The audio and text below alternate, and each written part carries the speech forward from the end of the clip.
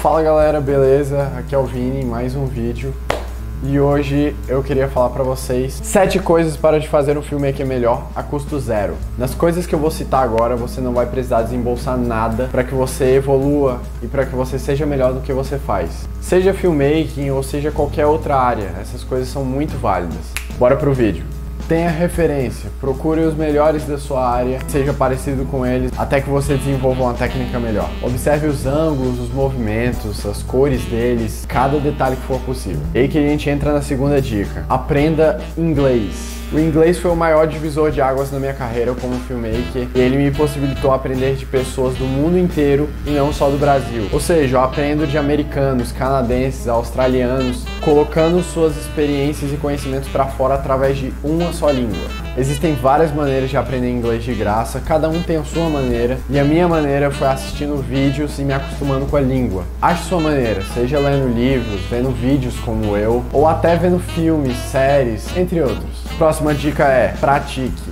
A prática leva à perfeição. Não tem como ser alguém com um trabalho decente sem que haja prática. Treine novas técnicas, experimente ao máximo, sem ter medo, e isso com toda certeza vai te ajudar muito. A próxima dica é: conheça os seus equipamentos melhor do que ninguém. Os seus equipamentos são as suas ferramentas de trabalho. É essencial que você conheça todas as coisas relativas a ele, todas as configurações, todos os menus, todas as funções. Isso além de otimizar o seu trabalho, vai te permitir tirar uma qualidade melhor do que você já tem e talvez fazer mais do que você acha que pode. Vou trazer um exemplinho para vocês. Uma vez eu estava filmando um casamento e nessa época eu usava Canon. E se vocês não sabem, tem um software para Canon chamado Magic Lantern. Esse software basicamente permite que você desbloqueie muitas funções funções que a sua câmera não tem. Por exemplo, na minha situação, controle de balanço de branco manual, zebras, números quebrados de ISO e coisas do tipo. Eu estava conversando com um fotógrafo nesse dia um fotógrafo com muitos anos de experiência. Eu falei para ele desse Magic Lantern e ele não nem fazia ideia do que era.